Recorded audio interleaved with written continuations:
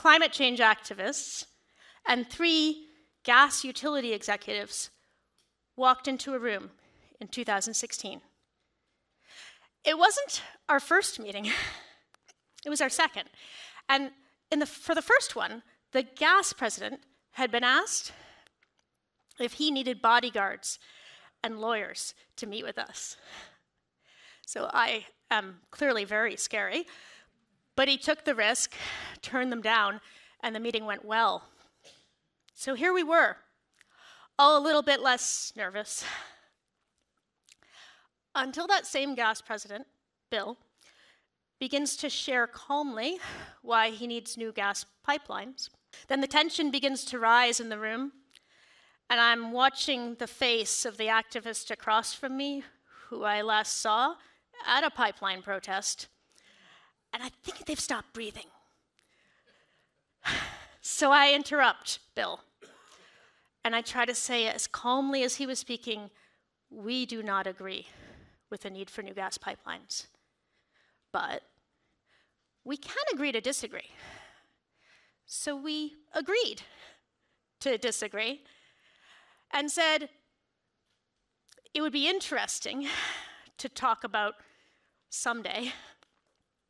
And we returned to the relative safety of talking about gas leaks because nobody loves gas leaks. They waste money, they can explode, and they leak methane, which is such a powerful greenhouse gas that just a few percent leaked can make natural gas climate equivalent to coal. So we kept trying to listen, to navigate back to common purpose, and it was really hard. But just two, less than two years in, we had established a new method to cut methane emissions from gas pipe leaks in half. And we had built unexpected trust. So, meanwhile, the gas utilities are replacing their gas pipe at a spectacular rate. These are all the work sites for the next five years. So, this does actually cut leaks and address safety, but each pipe takes 40 years to pay off. And our climate laws, they say we have to be off gas. We have to be off fossil fuels like gas long before that. So, in other words, we're investing in our gas system even as we know that we need to move all of us off gas. So, how does one get millions of buildings off millions of miles of pipe without causing safety problems, without causing job loss and pension fund collapse, without leaving the last family connected holding the bill for billions of dollars of pipe. Because a building by building energy transition means you have fewer and fewer customers if you're on a utility. A building by building energy transition for a utility means you have fewer and fewer customers. And you can bet they won't be the wealthy ones to cover the fixed costs of the gas network.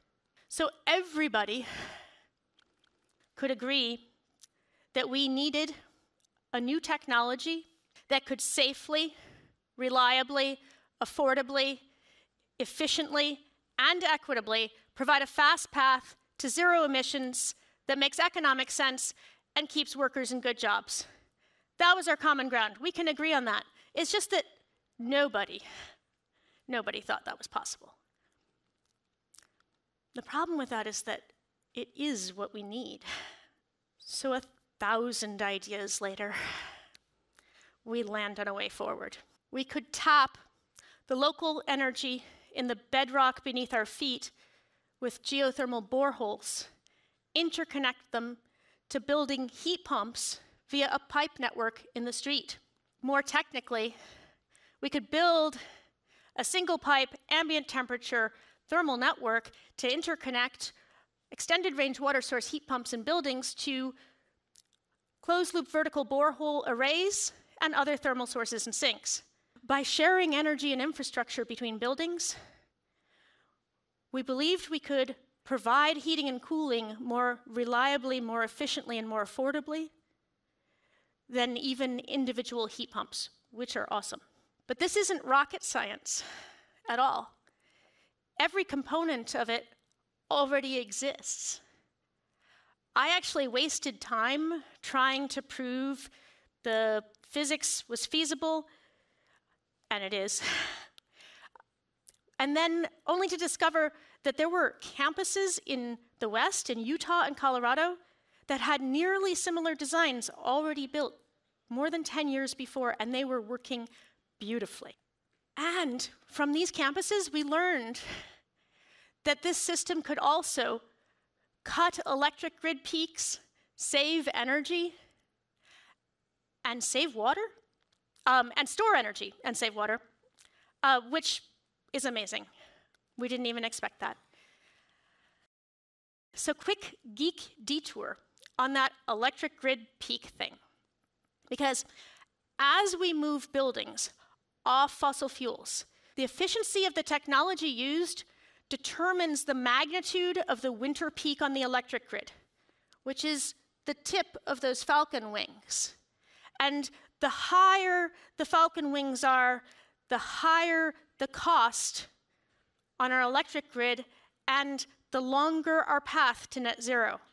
So, one of those campus installs gave us data that showed that geothermal networks had potentially the best chance to flatten this falcon curve to get us there faster and cheaper when you look at the whole system. So, this is awesome. But how do we move this technology off campuses and into our communities? We're going to need space in the streets, a workforce, customers, and financing, long term financing. Just like our gas utilities have today for gas.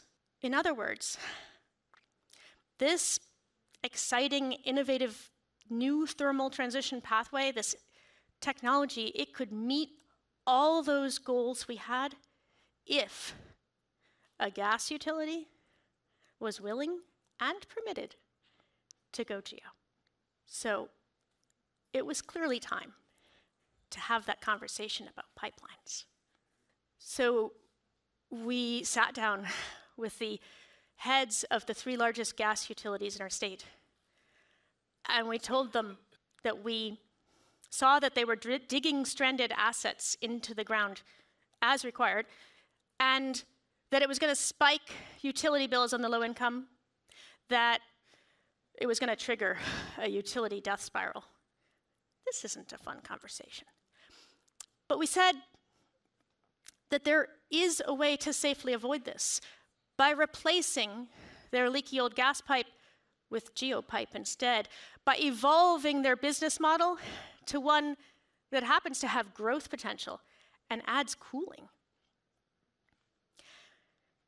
So the relationships we'd built held, and they asked thoughtful questions.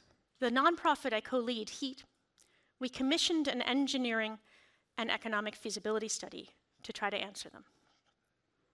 And the results showed geo networks had the potential to meet all heating and cooling loads for the majority of our gas system streets and to have lower customer bills than gas. How? Well, the higher upfront infrastructure cost, when you amortize it, was balanced or offset by the removal of the fuel costs, the gas. And that's before Ukraine, people. So weeks later, my phone rings, and I step outside the noisy cafe I'm in to hear that same gas president, Eversource President Bill, say, I have sufficient buy in in my command chain, and we are going to file a request to build a geothermal network. And I am so frozen in the middle of the street because it felt in that moment like the system had just tipped. A gas utility. They wanted to build a geothermal network. So the state approved their request. And last month, in Framingham, Massachusetts, the first boreholes were drilled into the bedrock to provide heating and cooling to over 40 houses, a school, a fire station, some small businesses, and low income housing. And there are four more installations approved in Massachusetts. Every gas utility in New York is required by law to build some, and we have the pipe fitters to thank for that. And the list of gas utilities exploring this business model seems to grow every day. Vermont, Minnesota, Oregon. This new energy system, seated in common ground, that narrow solution space that meets the core needs of all stakeholders, it's taking root across the country, across the world. At HEAT, we've convened researchers from two national labs, four universities, MIT included, to study the first installations, to build a digital twin for optimization and scaling, to standardize a data set, launch an open data bank. Because we have a once in many lifetimes opportunity to transform an industry, to build better energy system and a more sustainable world.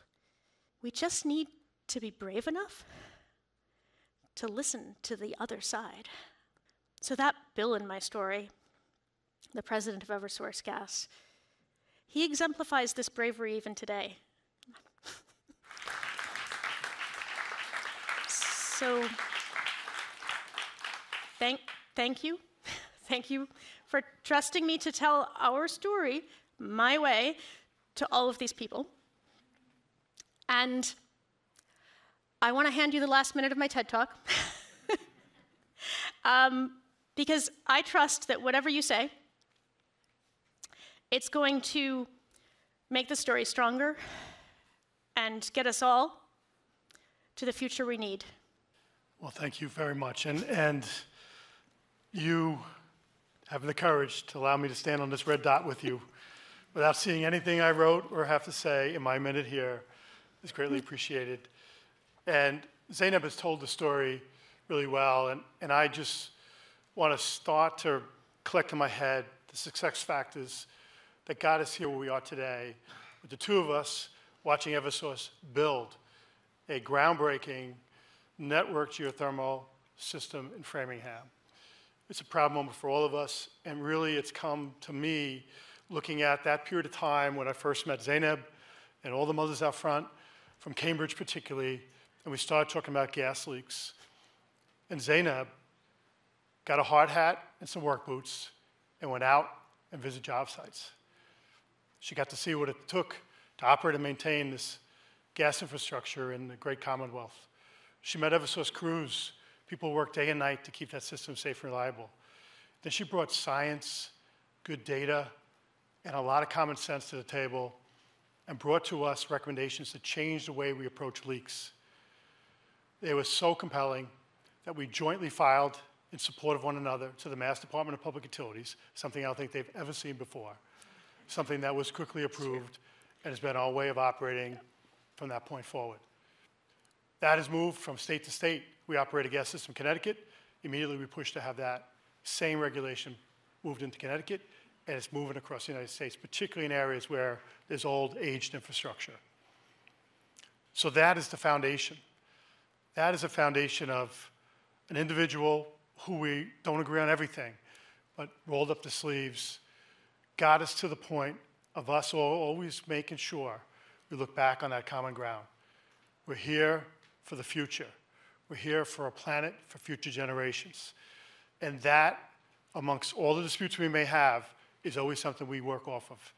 And to me, and for the 9,000 employees at Eversource, it is just a blessing to have such a great leader and the entire team at Heat and beyond who have worked with us, they've learned with us, and they've respectfully pushed us um, to make us better. And that, to me, is the power where we are today and why we have a geothermal project in construction in Framingham.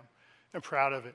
And to Zeyneb's point, there's not a company across the United States of America that hasn't called us asking how, why, can we get involved, what will it take?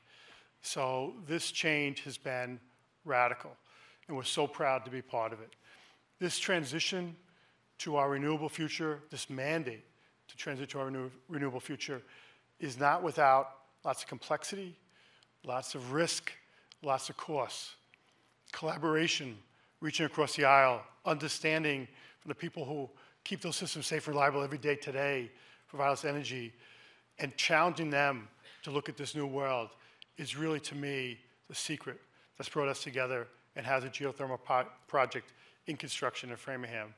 So I can't thank Zeyneb and the collective team enough, and I'm proud to have Eversource and its 9,000 employees to be willing to step outside of their comfort zone to look at this common ground, find solutions, and really demonstrate it through things like geothermal, offshore wind, utility scale solar, everything else that we're engaged in. So again, Zeyneb, thank you so much for the bravery allowing me to stand on this red dot with you. Hey, that risk worked out. Thank you.